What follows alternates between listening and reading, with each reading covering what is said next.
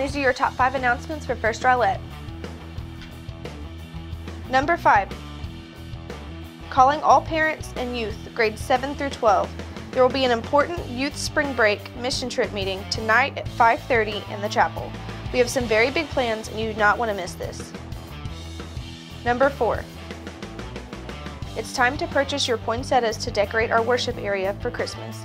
They are $10 each and order forms can be found inside your bulletins from now until Christmas. These poinsettias will be delivered to nursing homes and shut-ins on Christmas Day. Number 3. Join us next Sunday, December 14th at the 9:45 and 11 a.m. services as the Sanctuary Choir and Orchestra present Joseph Martin's Canticle of Joy. Come hear the Christmas story again and enjoy the beautiful melodies performed by the choir, soloists, and full orchestra. Number 2.